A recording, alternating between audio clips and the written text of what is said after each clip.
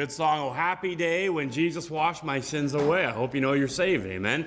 Uh, we're going to begin this morning with Psalm 22, verse number 22. Begin our day together. We read, I will declare thy name unto my brethren. In the midst of the congregation will I praise thee. So, as we are in the midst of the congregation this morning, let's praise the Lord and let's declare and lift up his name. Amen. Uh, so, I hope you'll join me in that this morning as we stand together and go over to hymn number 165. Song 165 as we stand together. We'll sing our first hymn. Raymond's going to come lead us in singing this morning. Oh, worship the King. Good morning, Brian. Morning. Um, hymn number 165. Oh, worship the King.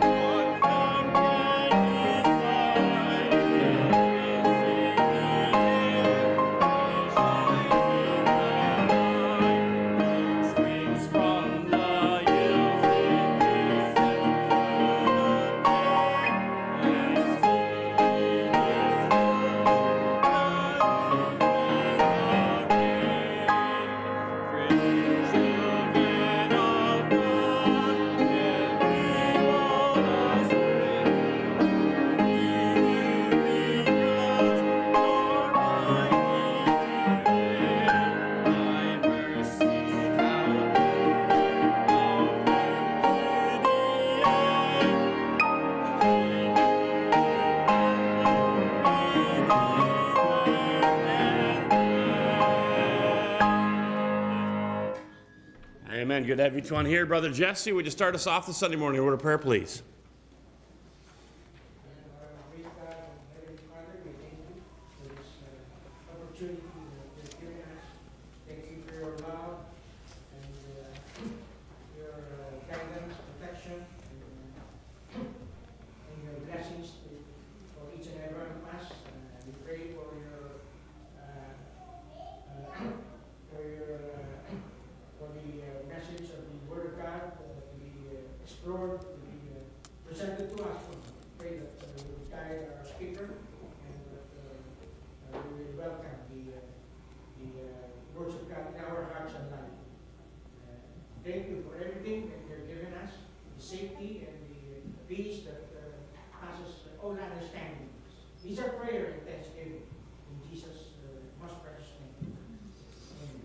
Amen. Let's go over to Song 243 at this time. Song 243. Victory in Jesus.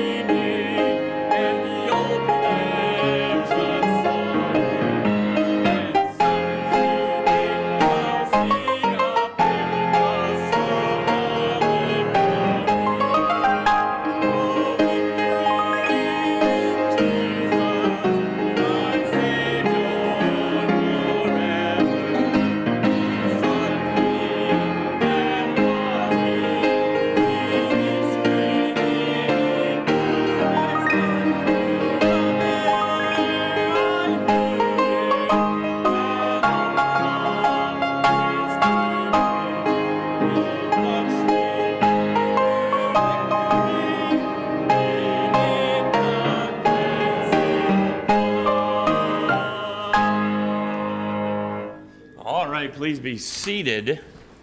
Three people. We've sung two songs of salvation uh, here this morning. So, three people. When were you saved? Who'll be the first? When were you saved? Miss Brenda. March 31st, uh, uh, 2013. 2013, amen. And to the saved people. Yes, ma'am. Amen. February 2010. Amen. Somebody else saved this morning? Oh, we've got two. We'll take two. Let's go, ladies, first. May 1994, then Brother Jeffrey. February 2008. Amen. Good. I hope you know you're saved. Amen. And that song we just sung, Victory in Jesus, I'm thankful for that. Couple quick announcements. Well, we've got a few announcements this morning, so I ask you to pay attention as we kind of go down through those. Um, I have, actually, Shen's going to have, Shen, can you grab those Bible reading plans there on the corner? Shen has the Bible reading plan. If you were in the meeting last week and asked for a printout of the Bible reading plan, and I know we gave them out Wednesday to those who were here, but if you were not here Wednesday and still need your copy, would you just raise your hand? Shen's going to head toward the back, and Shen just kind of hand those down. Now, these are all. Um, double sided. All right, I, th- I, only had one person ask for a single sided. So, Shen, we've got some over here you can go, we've got some over here. You can just kind of go around and. Oh. Okay. There's a couple over here as well, I think. One near the back there. I might be short one, I'm not sure. Anybody else who had asked for a Bible reading plan? Over here. Did I print off enough? We've got one left. Shen is now selling this last one for $25.99. no. All right, uh, just put that back down here, Shen. I'm sure someone else will lay claim to that. Uh, again, folks, the cost for those is $10, and that's just to cover the cost of the binding, and uh, you can put that in the offering. We'll do that on your honor. I know you're all honorable people. Amen. So uh, you can either e transfer that or just put that in the offering, all right? You don't need to mark it. Um, anyway, just put it in the offering and uh, it will go where it needs to go. Um, we have two meetings after the morning service. One is for the group that up till this point we've called the college and career. And that's kind of been a broad spectrum group. Uh, basically, it's been anybody from uh, teen group, once they graduate from teen group, up until we've had some come who are knocking on the door of maybe the uh, seniors group, but uh, we're going to seek to clarify who this group is a little bit. So, college and career, we're going to meet down here right after the morning service. That's just going to be a very quick meeting. Um, and uh, I will tell you as well, we have a, an activity coming for the college and career group this coming Friday. We're going bowling at Polo Park. Um, 6:45 is the time to be over there. We'll speak more of that during that uh, that quick meeting. All right. Um, so there's a meeting for college and career. Secondly, there's a meeting upstairs for the ladies this morning. All the ladies. Uh, there's an upcoming ladies meeting in January. Well, we're in January. The end of the month, I believe it's the 27th. Um, is that what it is? 27? I know Mrs. Haley had texted some of you ladies. Um, 27th, uh, that's a Saturday. Is that right, or 26? 27. Yeah, we have youth on 26. So 27, there's a ladies' meeting. Um, so there's going to be some information regarding that ladies' meeting that's upcoming. And then also, if you've been involved or want to be involved in what was called the Secret Sister, um, then the, the Secret Sister program, then there's going to be some discussion during that meeting as well. So we'll have the college and career meeting first because that's going to be just a couple minutes. And then we'll have the ladies' meeting following that. Um, and that'll give Mrs. Haley time to get up from downstairs uh, and the junior church program. So I'll probably forget later on to announce that again. So just remember that, okay? Uh, we have tonight 5:15 prayer time, 6 o'clock evening service. Don't miss out on that. Um, I will announce next Sunday evening, not tonight, but next Sunday evening, Pastor Robert Wall from Faithway Baptist Church. Now, my wife and I went to Faithway Baptist College many moons ago, amen, a lot of years ago, and he's going to be here. He's in town next week, and he's going to be here next Sunday evening. I'm looking forward to this. I know most of you have never met him. Let me encourage you to plan on being here next Sunday evening, and uh, he'll be a blessing to you. Don't miss out on that. Again, that next, that's next Sunday evening. Pastor Robert Wall from the, again the Faithway Baptist Church and College in Ajax, Ontario.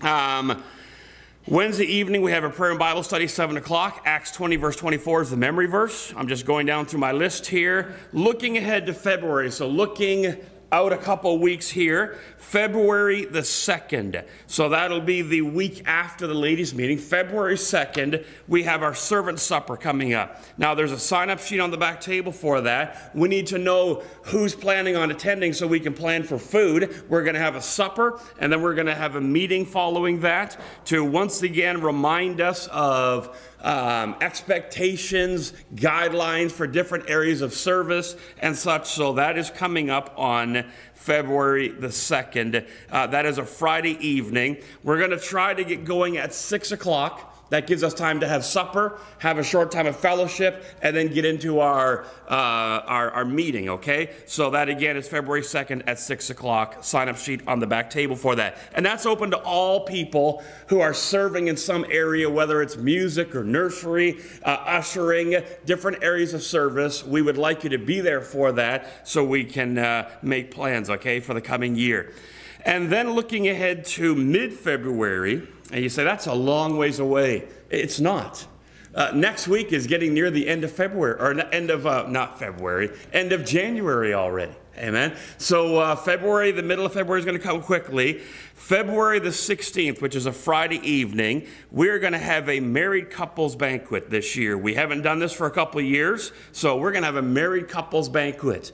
You say, Am I married? Well, talk to your spouse and find out, amen. Uh, so it's a married couples banquet, and uh, we are going to have a great, great time. So that is February the 16th, 6.30. Uh, looking forward to a wonderful evening together, all right? Um, and there, again, there is a sign-up sheet because we need to plan for food. So married couples, this is open to you. Uh, I think that's it for now. We do have another couple sign-up sheets. One is snow clearing, which is mostly full, but there's a couple slots. And then I saw a church cleaning schedule on the back table. Uh, that one's only got one family signed up once, so we've got a few months here of church cleaning to sign up for. If you could help out with that, that would be great. All right. Um, I think that's it. Do we have any references to the Redeemer or glimpses of grace today? Say, Pastor, it's too cold outside. Uh, uh, that's okay. We can still have warm hearts. We can still be rejoicing in the Lord. Amen. Anybody this morning with a glimpse of grace or a reference to the Redeemer? Yes, Brother Jess.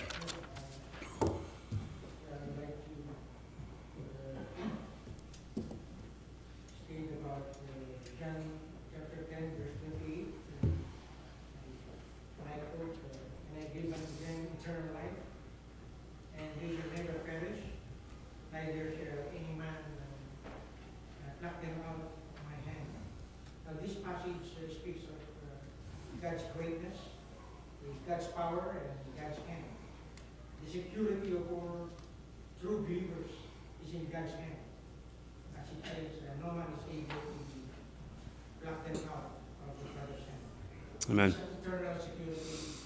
Amen. Amen. Thankful for that grace of God that keeps us secure in His hand. We can never be plucked out. Amen. I'm thankful for that. Anyone else with a glimpse of grace or reference to the Redeemer? I've got Luke chapter 4, verse number 34, as I was reading this past week, and I uh, read here in God's word, saying, Let us alone, what have we to do with thee, thou Jesus of Nazareth? Art thou come to destroy us? I know thee, who thou art, the Holy One of God. And he was called Jesus of Nazareth, and he was called here the Holy One of God. And it's interesting to me that uh, even the wicked followers of Satan here, uh, the demons and devils, they know who Jesus Christ is. Amen. I know thee. They knew who he was. Anybody else with a, either a glimpse of grace or reference to the Redeemer? All right. Do we have a favorite hymn this morning? We don't do this a whole lot Sunday morning. We're going to do it this morning. One favorite hymn. Yes, ma'am. Church in the Wildwood? Oh, let's find that. 458. 458. The Church in the Wildwood. Is the first stanza good there for you? First stanza? Let's sing that. 458. Brother, do you know this one? All right, let's uh, stand together. We'll sing song 458, and then we'll sing Raymond's third song here following that.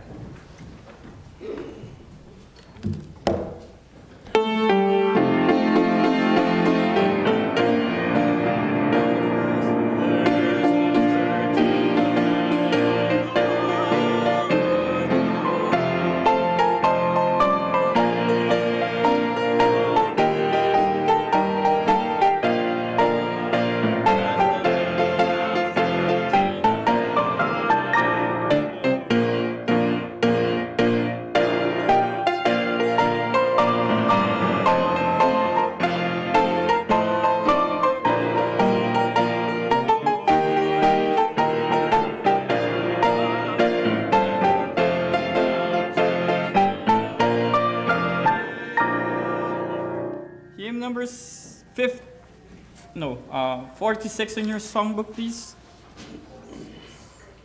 4 6. My Savior, first of all. And after this, we'll do the offering.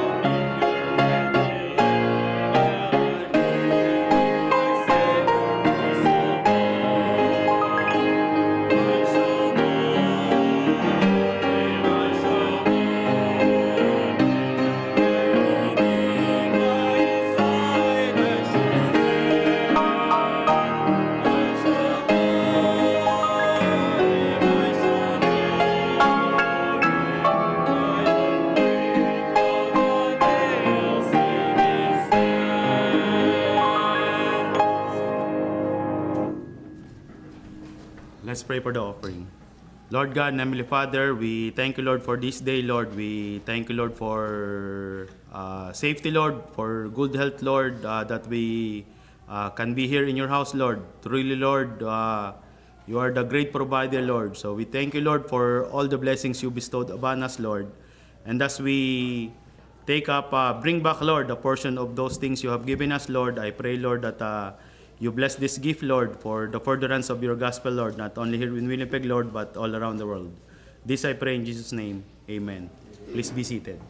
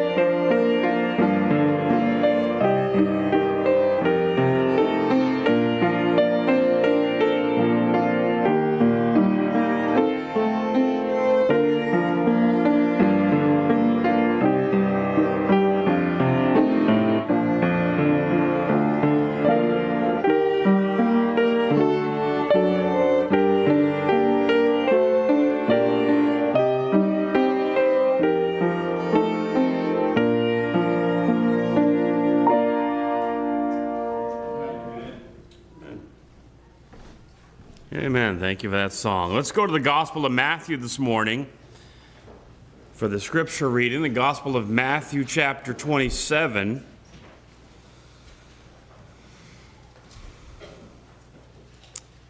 And in this chapter, we jump in on the narrative of the time frame where Jesus had been arrested, and there was a mock trial. He was in custody here, being accused. And we're going to pick up in verse number 11 and read down a fair ways to verse number 25 where we read those powerful words, His blood be on us and on our children. Um, let's stand as we have these verses read. I'll read down through, and I hope you'll follow along there in your Bible and try to keep track uh, mentally of what's happening here in this story here. Matthew 27, verse 11 to 25. And Jesus stood before the governor, and the governor asked him, saying, Art thou the king of the Jews? And Jesus said unto him, Thou sayest. And when he was accused of the chief priests and elders, he answered nothing. Then said Pilate unto him, Hearest thou not how many things they witness against thee? And he answered him to never a word, insomuch that the governor marveled greatly. Now at the feast the governor was wont to release unto the people a prisoner whom they would. And they had then a notable prisoner called Barabbas.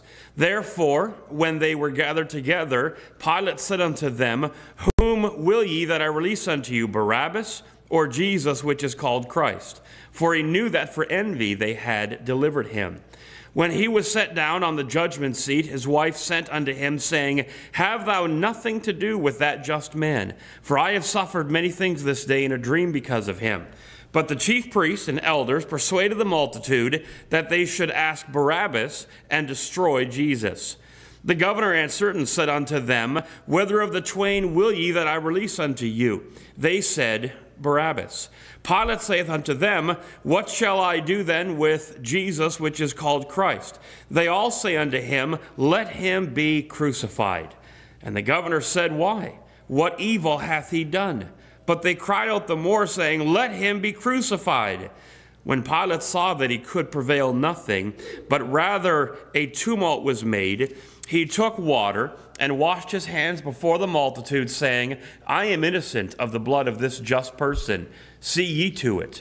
Then answered all the people and said, His blood be on us and on our children. We are going to go over to song number 322 at this time song 322 for our last hymn. And this, the uh, special song will be sung following this. So if you folks would come up during the last stanza, uh, that'd be good. So, song 322.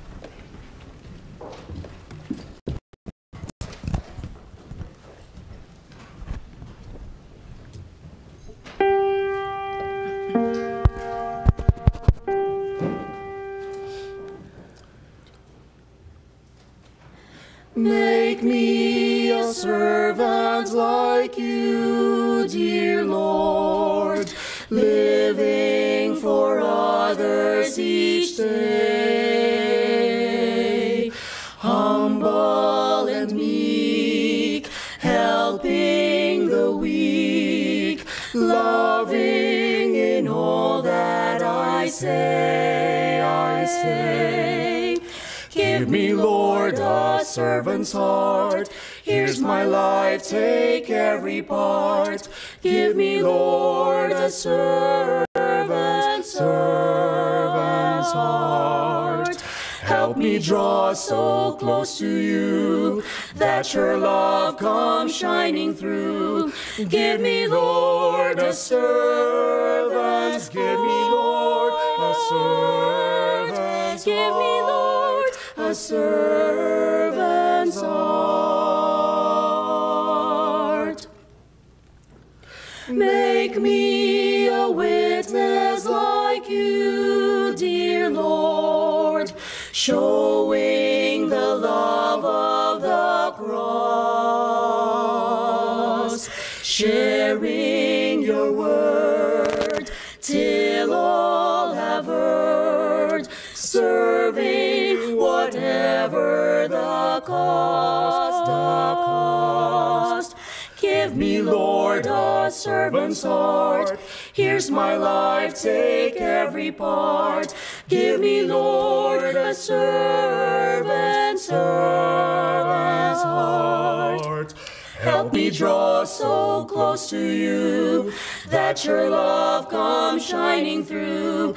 Give me, Lord, a servant. Give me, Lord, a servant. Give me, Lord, servant's.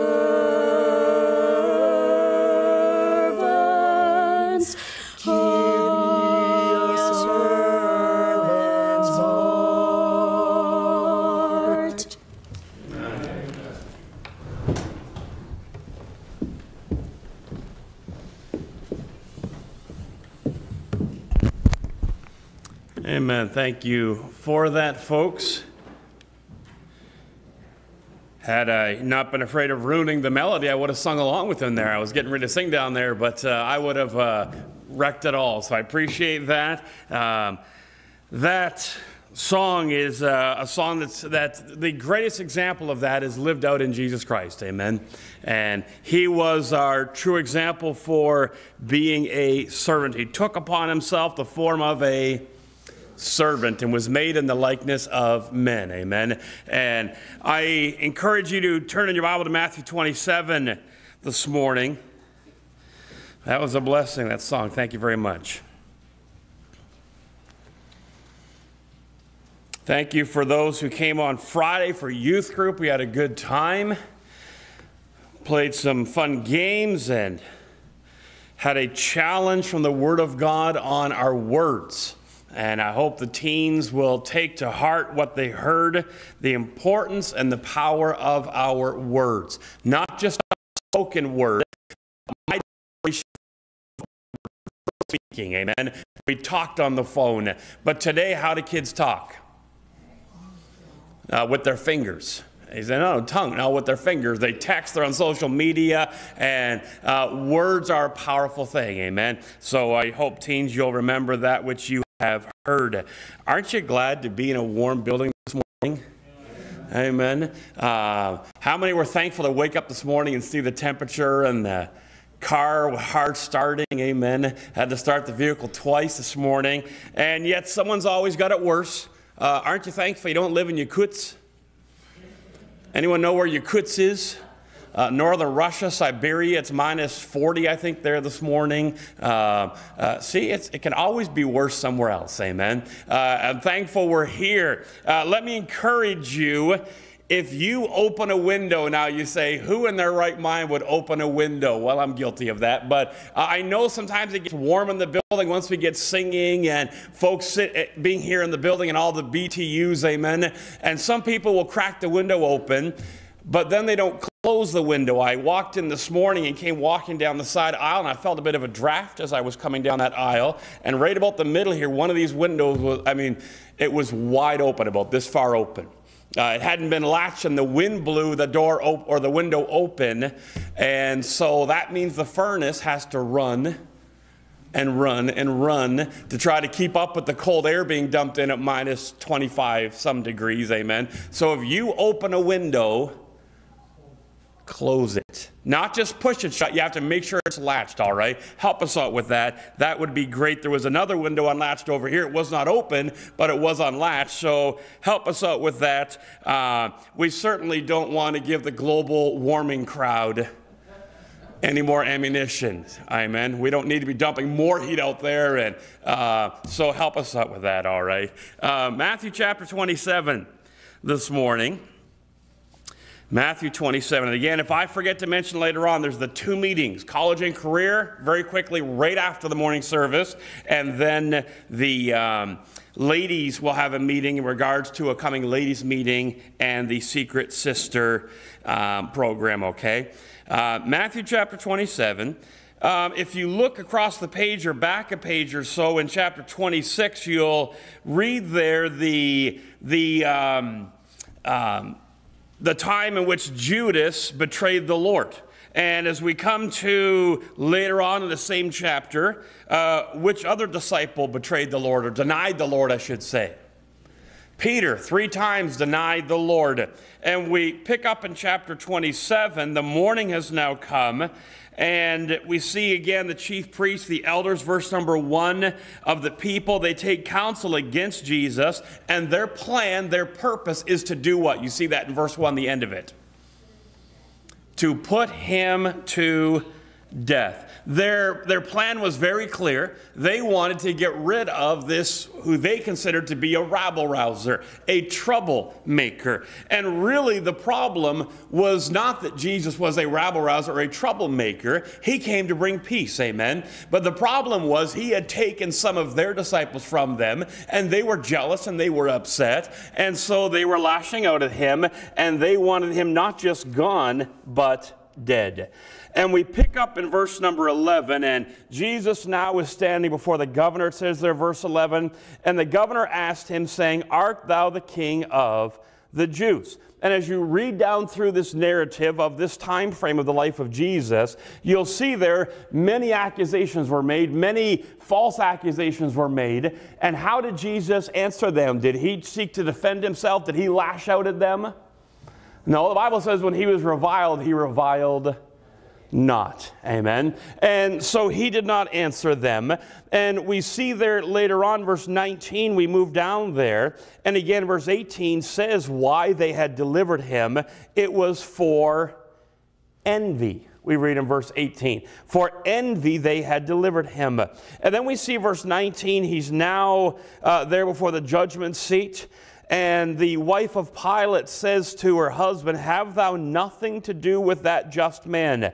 Uh, referring to Jesus Christ. Uh, she had had a dream there. She says, I've suffered many things this day in a dream because of him.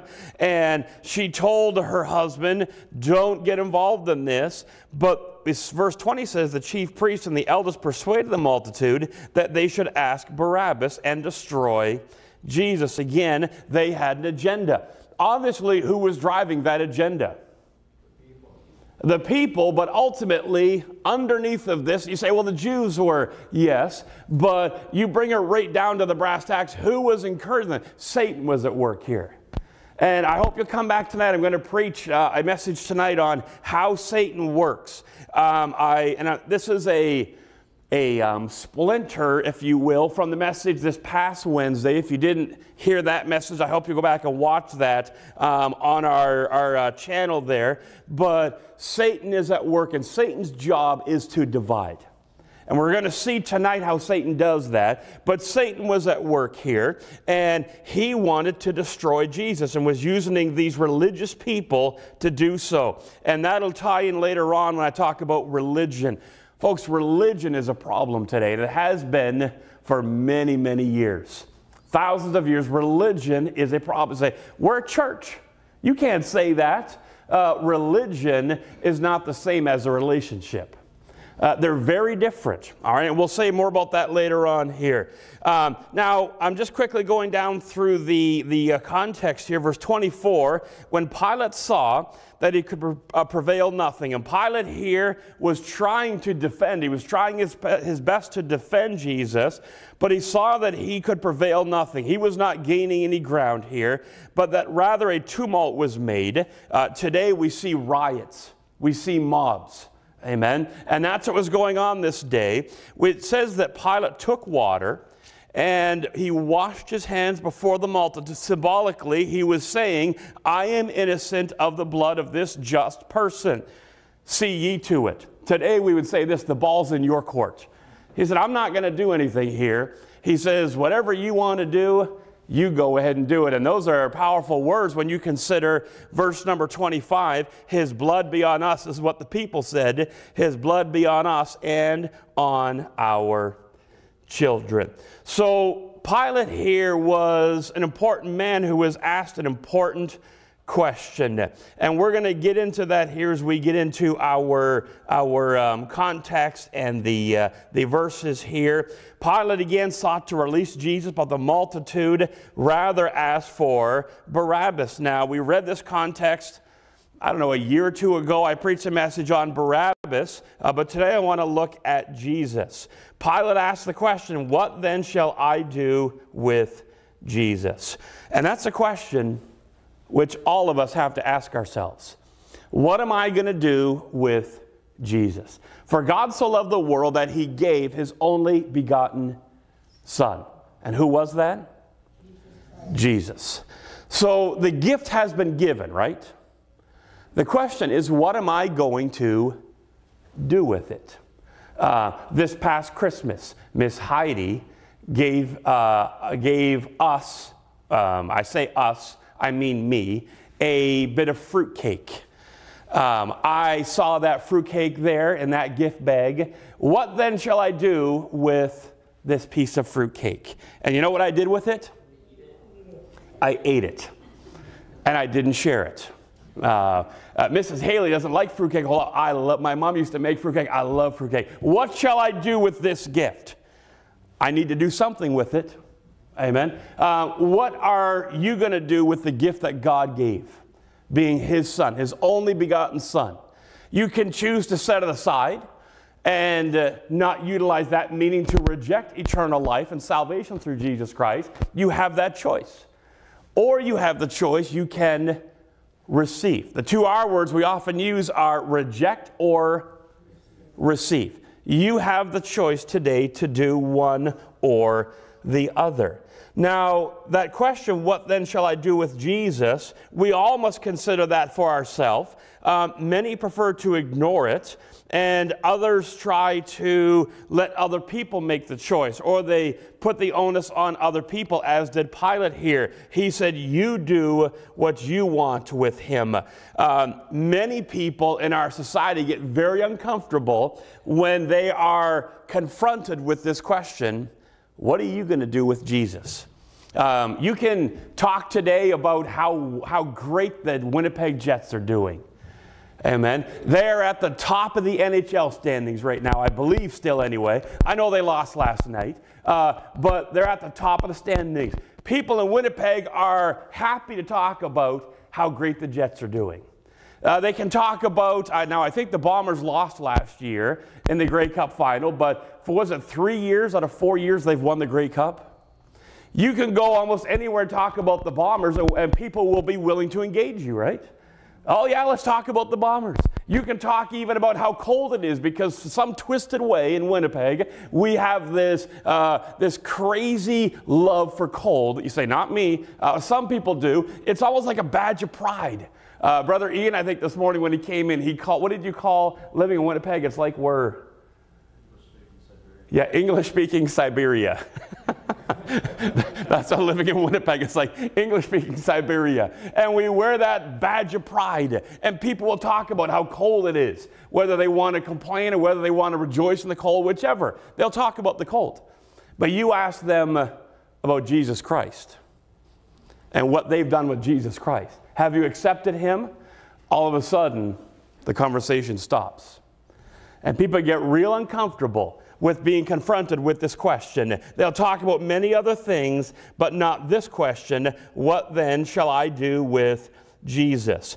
And yet, it is a question that none of us can run away from, and it's a question which determines our eternal happiness and our eternal state. And so it's a very important question. Whether the Jets are at the top of the standings in eternity, really, how much does that matter? Zero. Whether the Bombers win another Grey Cup. Now, it's great for the morale of the city and sports lovers. I understand that. But in eternity, what does it matter? Zero. But what a person does with Jesus Christ, that has eternal significance and bearing in their life. Because one day each one of us will stand before God and will give account of our life. We see this in 2 Corinthians 5:10, for we must all appear before the judgment seat of Christ, uh, that everyone may receive now uh, may receive the things done in his body. This is speaking to Christians. Romans 14, 10, 11, and we shall all stand before the judgment seat of Christ. You can read in Revelation, uh, those whose names are not found written in the Lamb's Book of Life, they appeared before God, the great white throne judgment. And those whose names are not written in the Lamb's Book of Life, what happens to them? They're cast into the lake of fire. This is the second death. And so everybody will appear before God and will give account. And the standard by which we will give account is the Word of God and what we did with the Son of God, who is the Word of God. So I want us to ask ourselves this question here today. And let's look at here, number one, what has Jesus offered you? What is being provided to us here. Jesus has provided us an opportunity, and what we do with Jesus determines if we'll receive this opportunity and this blessing or not. Now, I've already quoted John 3:16. What is the end result? For God so loved the world that he gave his only begotten son, that whosoever believeth in him should not perish, but have everlasting life. And so, for those who receive Jesus Christ and those who accept Him as their Savior, we are, we are promised and offered everlasting, eternal life. We have this blessing of life. Uh, for those who will respond in believing. In the Gospel of John, four times we read the phrase, have life. John 10, verse 10 uh, says that they might have life. Jesus said, I am come that they might have life and that they might have it more abundantly. So we can have, we can possess life. It can be ours. Uh, John 20, verse 31, as uh, the Gospel of John is closing down, it says, But these are written, so the things that we read in the Gospel of John, these are written that ye might believe that Jesus is the Christ. So, what is the emphasis of the Gospel of John? To prove to us what? that Jesus is the Christ. The Gospel of John is written and it presents him as the Son of Man. It's written to us to convince us that Jesus is the Christ, the Son of God. He is the Messiah. Amen. And, and it goes on to say, and that believing that Jesus is the Christ, the Son of God, and that believing ye might have life through his name. A verse we use likely every second week here, John 14, 6. Jesus said, What? I am the way, the truth, and the life. No man cometh unto the Father but by me. So John was written to convince us and, and prove to us that Jesus is the Christ, the Son of God, and therefore that believing ye might have life through his name. And so life is offered through Jesus Christ. Can you be saved through believing in Allah? Is Allah Jesus Christ? Uh, the answer to that is no. All right. Uh, how about Muhammad? No. How about Mother Mary or Mother Teresa? No. Uh, eternal life is in and through the name of Jesus Christ. Acts chapter 4, verse number 12. We can read that, all right? So that's very clear. Um, now, in the Gospel of John, we read, and let's look over John chapter 5.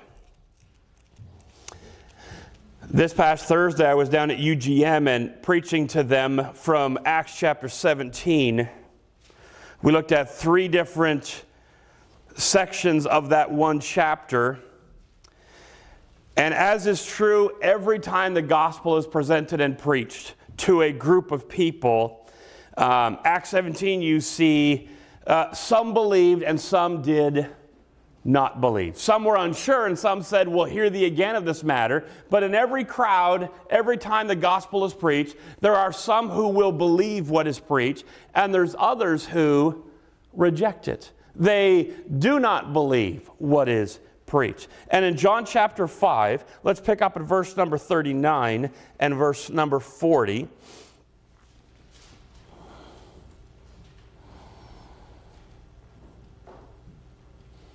John chapter 5, verse 39 and 40. Search the scriptures, for in them ye think ye have eternal life, and they are they which testify of me. And ye will not come to me that ye might have life. And so Jesus speaks of coming to himself that they could have life, and yet what did he say of these people here? He told them, search the scriptures. You need to get in and study. Uh, 2 Timothy 2.15, study to show thyself approved unto God. Uh, search the scriptures. Why?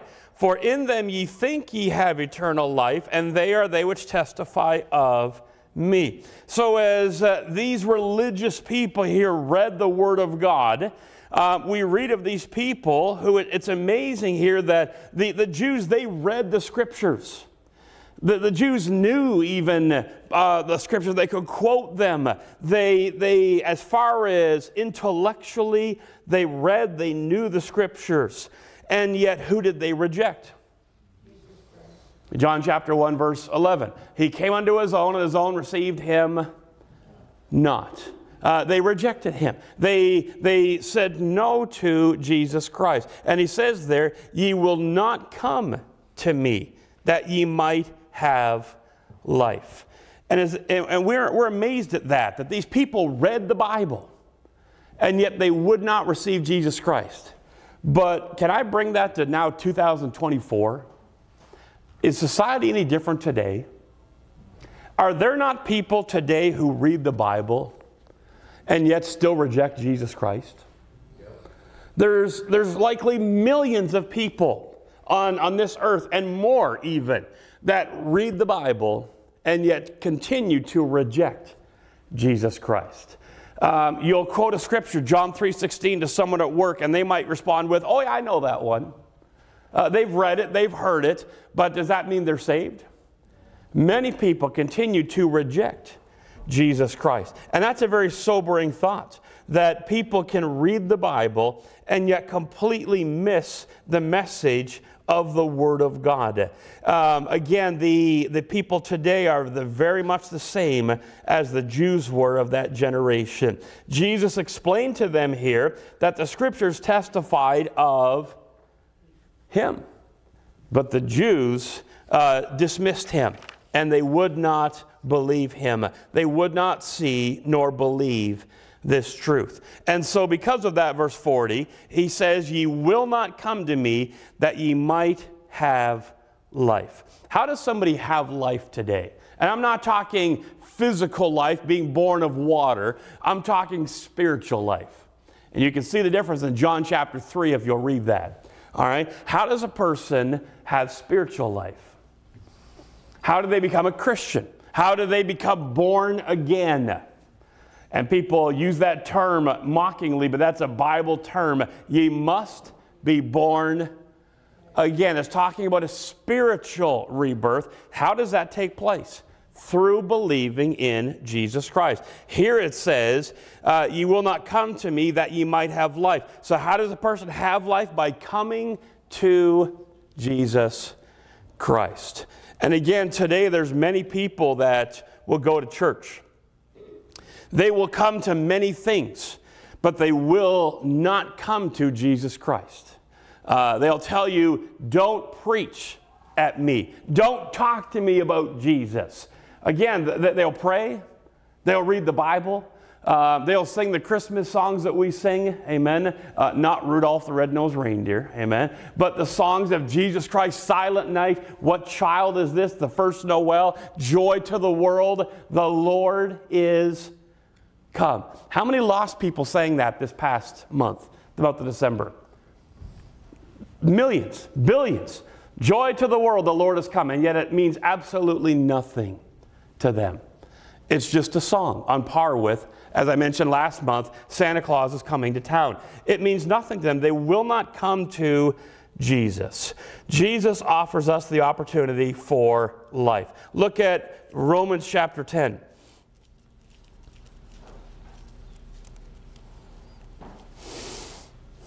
Romans chapter 10.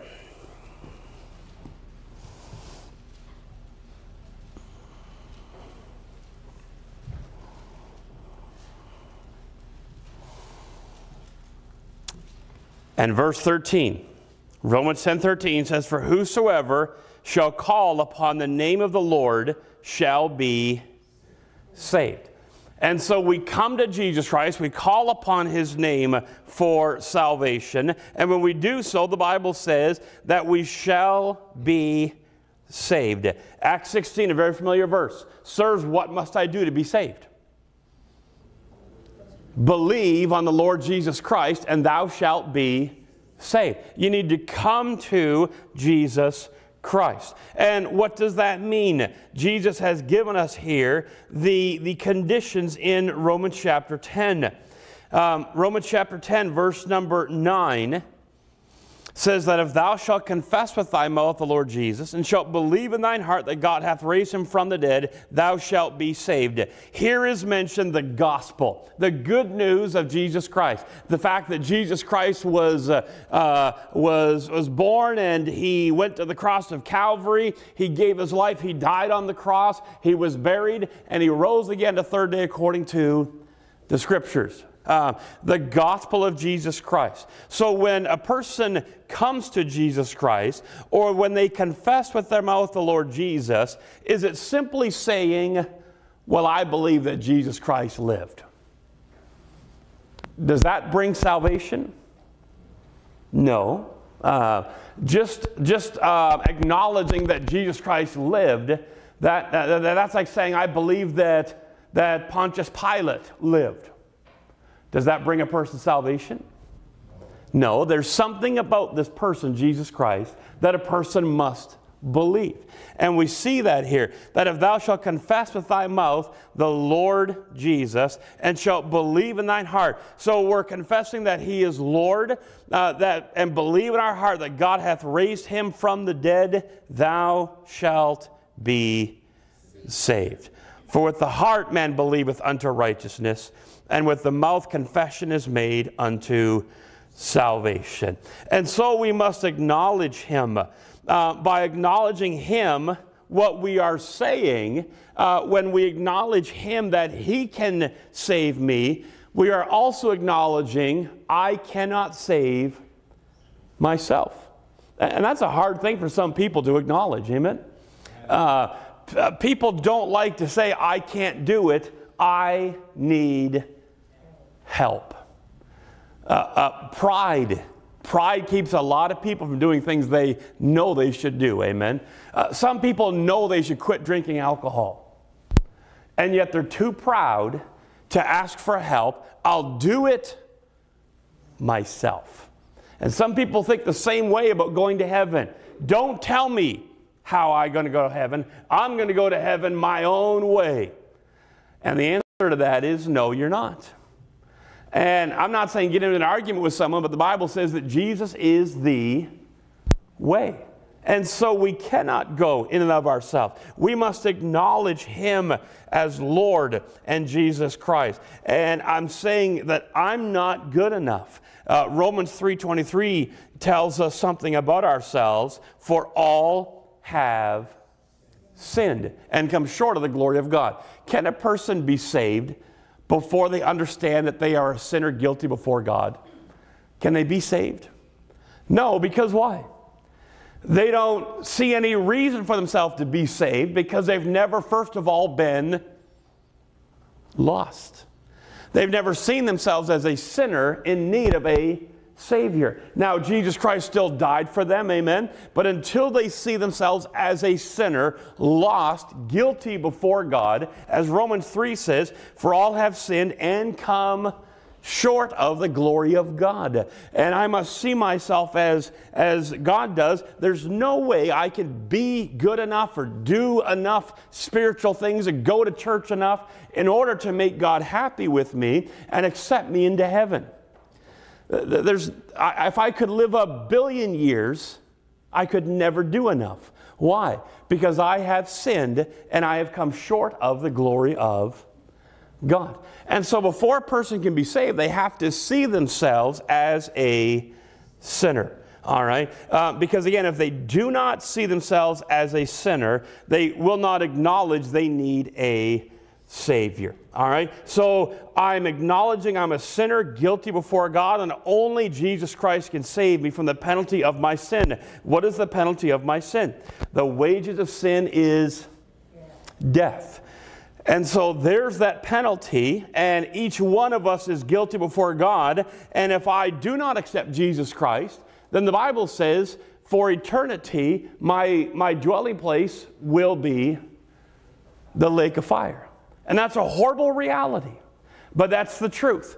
But God so loved the world that he gave, so that those who believe in his Son, Jesus Christ, should not perish. And so we have the choice to believe in Jesus Christ. Again, verse 9 there of Romans chapter 10, uh, we, we see here um, Romans uh, 10, verse 9, verse 10, verse 11, verse number 13. All of these speak of uh, responding to Jesus Christ. What do I need to do with Jesus Christ? What shall I do with Jesus? Uh, the response biblically is I need to receive him. I need to accept him as my Savior. Because we are sinners and uh, because we've fallen short of having a home in heaven, the only means or way to get there is through Jesus Christ. Again, the Bible's very clear of that. He is the one we read of. Uh, in the month of December, we read Isaiah 9, verse 6, many times, usually in that month. For unto us a child is born, unto us a son is given. And all of these titles that speak of the coming Messiah, wonderful, counselor, the mighty God, the everlasting Father, the Prince of Peace, they all find their dwelling place in one person, that being Jesus Christ. He is the only begotten Son of God, the Lamb of God. He is the Messiah. And so, until a person is willing to come to that place where they are willing to admit, I cannot earn my way to heaven. I cannot be good enough to go to heaven. I've sinned against God. I'm guilty before God. I have come short. I cannot attain uh, that to that level of the glory of God. I've come short and they believe that Jesus died for their sin to pay the penalty for, for, uh, for their sin, and that he's the only way to heaven, until a person admits all of that, then they're not willing or they're not ready to be saved. Um, again, there's an old uh, uh, teaching about approaching a drowning person. Anybody ever take any lifeguarding? Uh, we did when I was in high school. They taught us a little bit about lifeguarding and trying to help a, a drowning person. We had a pool there in high school, and we'd have to jump in with all of our clothes and, and sneakers on and tread water and approach a mock person who's drowning. The number one rule is uh, as long as they're struggling, you do not go help them. Because why? When they're still struggling, what have they not yet recognized? That they're drowning, that they're in trouble. All right? They've come short of the ability to save themselves. They'll fight. And so if you approach them when they're in that state, do you know what they will do?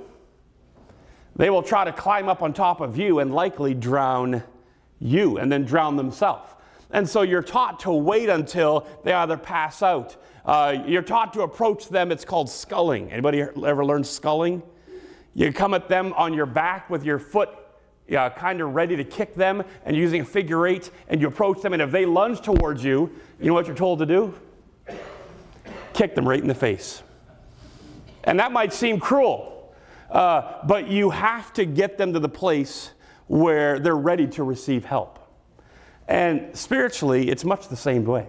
I'm not telling people, I, I did not tell you kick someone in the face to get them saved. That is not what I just preached to you.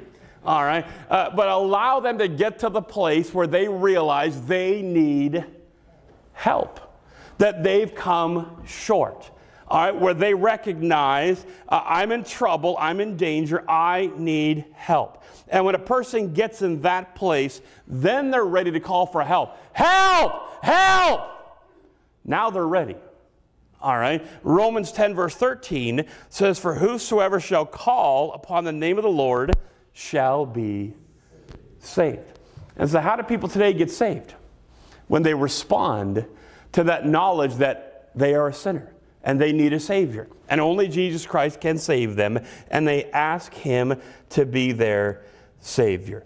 Now, Jesus has told us the, uh, the outcome of our choices. If we reject Him, John chapter 3, verse 18 and 36, that we read a couple weeks ago, uh, speaks to the fact that if we reject Him, that we do not have life. And again, that might seem cruel, but folks, the, the whole point is we have the opportunity to accept life. We can have life, amen? If we choose to do with Jesus what the Bible teaches us to, and that is to believe on Him, to accept Him as our Savior. But some people refuse and will reject Him. And for those who do reject Jesus Christ, and their names are not found written in the Lamb's Book of Life, uh, what is their outcome for eternity? Again, the lake of fire. And, and, that's a horrible teaching, but that's the truth of God's word. And folks, understand uh, without that, uh, I don't want to call it a negative message, but mankind deems it a negative message. The truth of the gospel and salvation and eternity really doesn't bring, uh, uh you know, the joy. And we sang that song, Oh, victory in Jesus. But if there's no hell, no lake of fire, then why does there need to be a victory?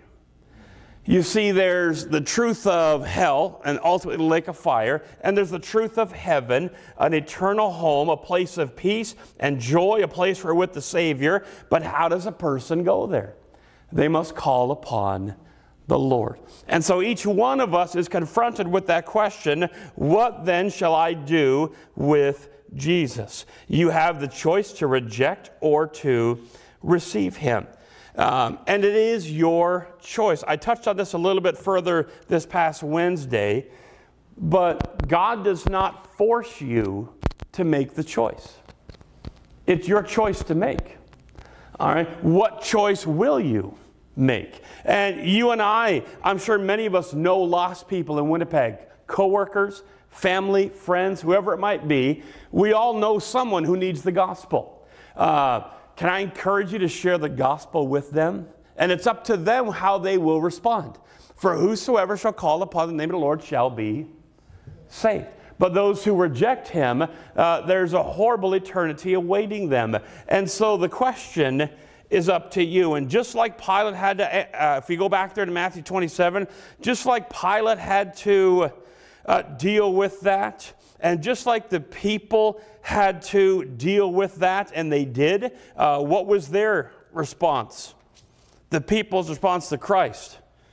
They wanted him crucified. The, the elders, the religious people, they wanted him dead. And Pilate here asked that question of what shall I do with him? And we all have to answer that for ourselves. I can't answer for you. Uh, the person beside you can't answer for you. I would think today, if we ask the person beside you, uh, what do you want for the person next to you for their eternity? Do you want them to go to heaven or hell? How do you think most people beside you would answer?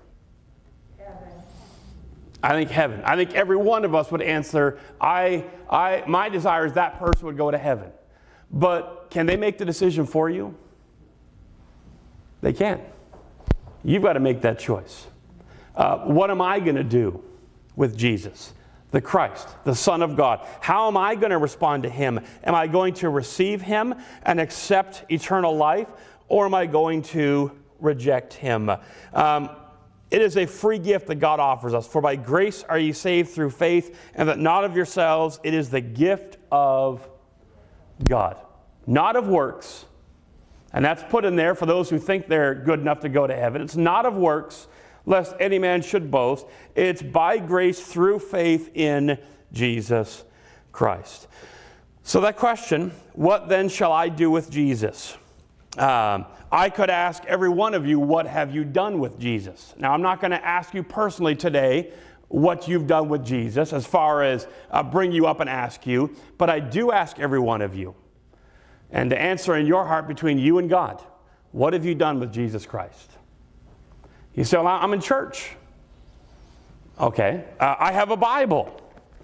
Well, that's wonderful. And if you don't have a Bible, please talk to us. We'll give you a Bible free of charge. Having a Bible is a good thing, amen? Uh, but do, do not many people in this world own a Bible? Yeah. Are there not millions of people that own a Bible that are not saved?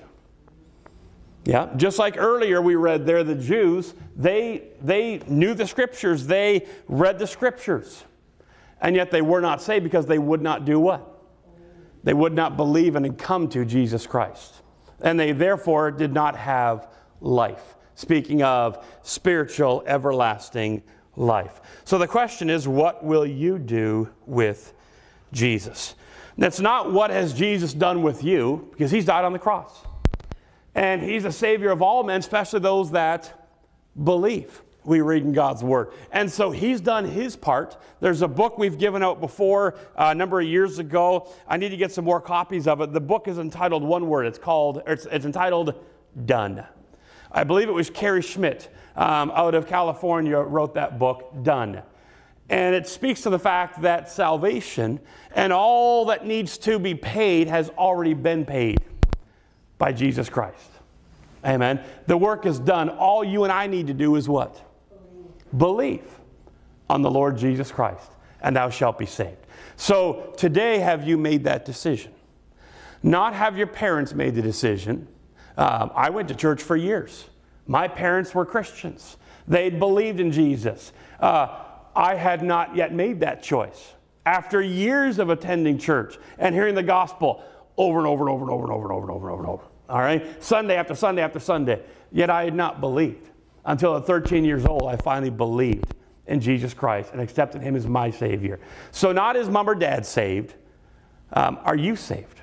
Not is your spouse saved? Because there's lots of people who the spouse is saved, but the other spouse is not saved. Have you accepted Jesus Christ as your Savior? And if you haven't, then uh, what is the right day? What is the accepted time according to Corinthians? Uh, now, today. Today is that day. So I can wait till tomorrow. Boast not thyself of tomorrow, for thou knowest not what a day may bring forth. Um, I don't know today, I didn't, I didn't do a study on this, but uh, how many people died this last week between last Sunday and today just in Winnipeg? I don't know. I don't have the answer. Uh, were there some group of people that passed away this past week?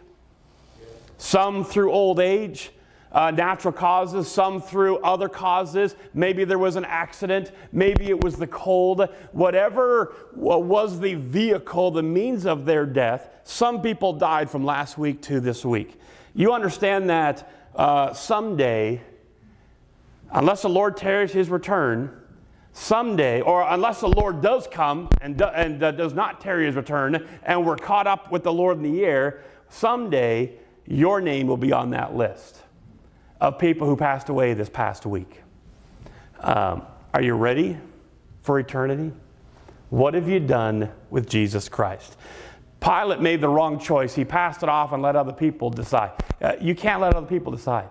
Choose you this day whom you'll serve. Amen. Uh, my prayer is if you've never been saved, that you would be saved today. Let's have a word of prayer. Father, I thank you for your word. I thank you for the gift that you tell us of in your word, being your Son, your only begotten Son. And Father, you give each one of us the choice today to either receive Jesus Christ and be born again and have eternal life, have that promise of a home in heaven, and the many other wonderful blessings and benefits that go with receiving Jesus Christ as our Savior, or we have the choice to reject. And rejection comes in two forms. It comes in the form of outright saying, No, I will not accept Jesus Christ as my Savior, or it comes in the form that we read of in Acts where some people said, We will hear thee again of this matter. And really, that's stalling, procrastinating, putting off till tomorrow, Father, what we know we should do today, and what a dangerous way that is to operate. Again, because we don't know what will happen even tomorrow, even the rest of this day. We don't know what the outcome of this day will be. And so, Father, I pray that we would be sober minded about this. Lord, that if there be one here today who has never been saved by grace through faith in Jesus Christ, that they would make that decision before it's eternally too late. Father, how sad would it be when asked the question, What did you do with my son Jesus Christ? Father, their response to be, Well, I knew I should be saved. I, I heard that message that day where I was implored and instructed to call upon the name of the Lord for salvation, and yet I thought I had some more time. I thought I could put it off till another day. Father, those who have not received your Son will for eternity bear the consequences of that. And that is a sobering thought. Father, I pray that you would work in hearts. If there be a young person, a middle aged person, or one who is older today, that they would make that decision to call upon Jesus Christ for salvation. Because now is the accepted time, now is the day of salvation. With heads bowed and eyes closed, Pilate asked that question that we all have to answer for ourselves What then shall I do with Jesus Christ? What are you going to do with Jesus today? And you can't look to parents, you can't look to a spouse, you can't look to family. Well, my grandparents, you can't look to them. What are you going to do with Jesus Christ? Have you accepted him as your Savior, understanding you're a sinner and you've come short? You see, until that understanding comes, you're not ready to be saved because you don't think you need a Savior.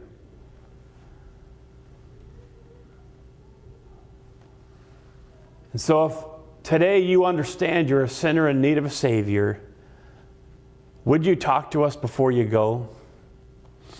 So, well, preacher, you said you've got a meeting. I will postpone that meeting long enough to talk to you. That's more important. Your eternity is more important than a meeting. We can't force you. I can't arm wrestle you into believing in the Lord. You've got to make that choice. If you're a lady and you would rather talk to a lady, there's some ladies here who will open a Bible and share with you how you can know for sure you're saved.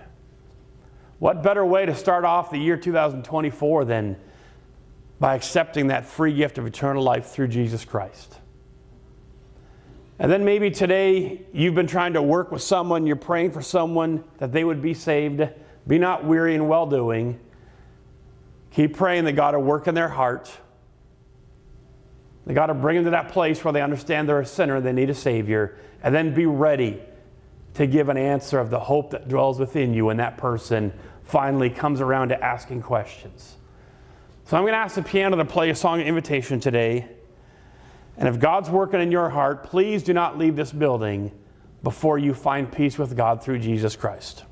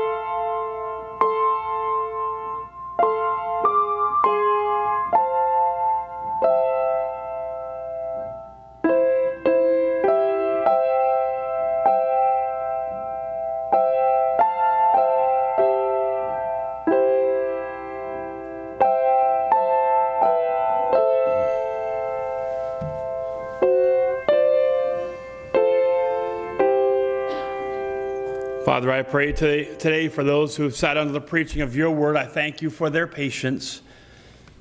Lord, there may be some who, in their heart, you've been convicting them today of their need of a Savior. They've sat there and politely been patient, and yet they've been in turmoil throughout this service. Father, I pray that they would not go home in that same turmoil. That's the conviction of the Holy Spirit and the drawing of the Holy Spirit, convincing them that this message was for them, that they need to be saved. Father, I pray that you continue to draw. Father, we thank you for that work of the Holy Spirit in our lives. Lord, we pray for others who have either heard this message or will hear it, that you would draw them unto yourself, and that they would come to that place where they understand they're a sinner in need of a Savior.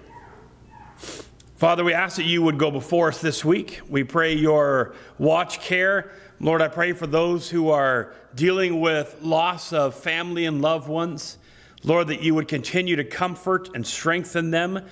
Lord, we ask that you would uh, just help us as we have a couple meetings. We ask that you'd be glorified in and through our living. As we sang that song earlier, living for Jesus. And it's not just today, but it's every day. Would you help us to do that? I pray in Jesus' name. Amen. All right, again, we're going to have a very quick meeting down here um, for the college and career, and then following that, a quick ladies' meeting, all right? So, college and career, if you'd come to the front right away so we can have that meeting quickly, that would be great. Otherwise, you are dismissed.